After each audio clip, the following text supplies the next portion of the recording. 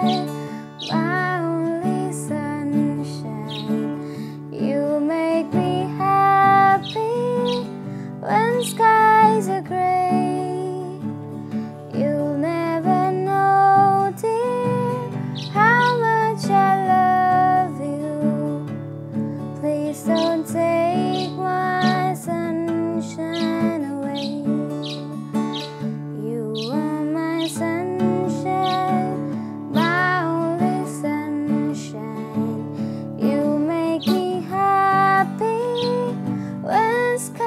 too great.